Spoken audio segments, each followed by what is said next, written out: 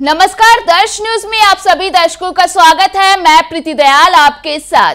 बिहार में लोकसभा का चुनाव बेहद रोमांचक हो गया है। ऐसे में मुंगेर लोकसभा क्षेत्र हॉट सीट बना हुआ है। और हो भी क्यों ना, बाहुबलियों की धमक जो देखी जा रही है।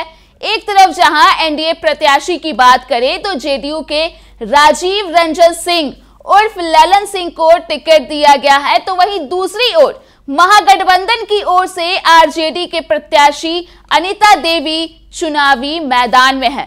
इसके अलावे मुंगेर के चुनावी मैदान में पहला ट्विस्ट तो तब आया जब मोकामा के बाहुबली नेता अनंत सिंह पैरोल पर मुंगेर में वोटिंग से पहले ही जेल से बाहर आ गए हैं।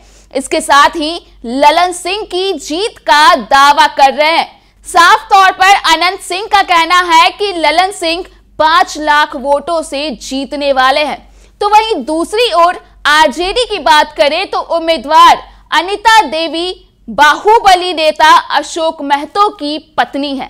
अशोक महतो भी कुछ महीने पहले जेल से बाहर आए और उन्होंने चुनाव लड़ने के लिए खरमास महीने में ही शादी कर ली, जिसके बाद आरजेडी सुप्रीमो लालू प्रसाद यादव ने अशोक महतो की पत्नी अनिता देवी को मुंगेर से टिकट दिया। लगातार अपनी अपनी जीत के लिए सभी प्रत्याशियों की ओर से प्रचार प्रसार किए जा रहे हैं। लेकिन इस बीच एक और ट्विस्ट मुंगेर लोकसभा क्षेत्र में आ गया है, जिसके बाद कहा जा रहा है कि यहाँ मुकाबला अब त्रिकोणीय होने वाला है। दरअसल मुंगेर में अब एक निर्दलीय उम्मीदवार ने एंट्री मार ली है। इसके साथ ही एयर कंडीशन का छाप भी दे दिया गया है। बता दें कि सनातन धर्म को बचाने और उसे विस्तार करने, साथ ही मुंगेर के विकास की रफ्तार को बढ़ाने के लिए निर्दलीय प्रत्याशी के रूप में पंकज कुमार ने एंट्री मार दी है।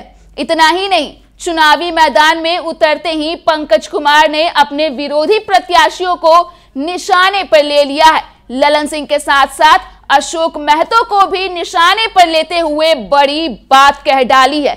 आप खुद सुन लीजिए। आखिर जनता आपको वोट क्यों दे?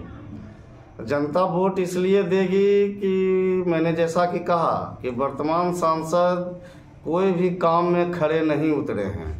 और अगर एक आए भी हैं उसके मतलब साथ में राजद प्रत्याशी भी आए हैं तो वो भी आपराधिक प्रवृत्ति के आए हुए हैं। वो तो सीधा बोल रहे हैं कि हम तो हमने तो सिर्फ़ भूमियार को मारा है। तो कहने का मतलब है कि भूमियार क्या हिंदुत्व की भावना भूमियार में नहीं है क्या? भूमियार इंसान नहीं है क्या? तो कहने का मतलब इसका मतलब है कि आप भी सनातन धर्म से बिलोंग नहीं करते हैं। सनातन धर्म हम तो कल भी स्टेटमेंट दिए थे कि उन्होंने पॉलिटिकल संरक्षण लेने के लिए उन्होंने शादी की। तो शादी किए तो उनका दाम्पत्य जीवन सुखी बीते, ये मैं ईश्वर से कामना करता हूँ। पर ये कैसा सनातन धर्म है जो खरमास में भी मतलब कि शादी कर लेते हैं तो हम, मेरा तो मानना है कि वो सनातन धर्म से नहीं है। और हम जहाँ तक बात है, हम हिंदुत्व की बात करते हैं और सीधा सीधी मेरा यही नारा है, जो हिंदू हित की बात करेगा, वही देश पे राज करेगा। आपने देखा कि किस तरह से ललन सिंह और अशोक महतो को निशाने पर लेते हुए जमकर सुना दिया है। साफ़ साफ़ कहा कि वर्तमान सांसद ललन सिंह जो विकास की बात करते हैं, वह लोगों के बीच छुपा हुआ तो बिल्कुल भी नहीं है। साथ ही अशोक महतो को लेकर कहा कि यह कैसा सनातन धर्म है कि चुनाव लड़ने के लिए इतनी बड़ी उम्र में खरमास में शादी कर लेते हैं।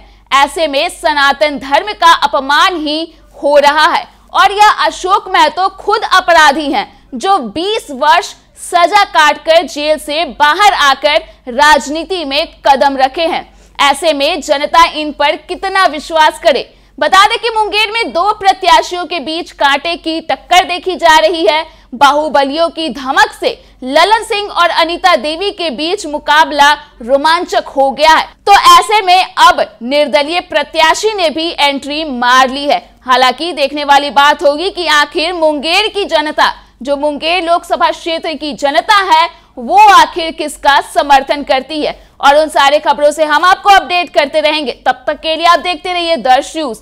अगर आपने अभी तक हमारे यूट्यूब चैनल को सब्सक्राइब नहीं किया है तो इसे जल्द सब्सक्राइब कर दें।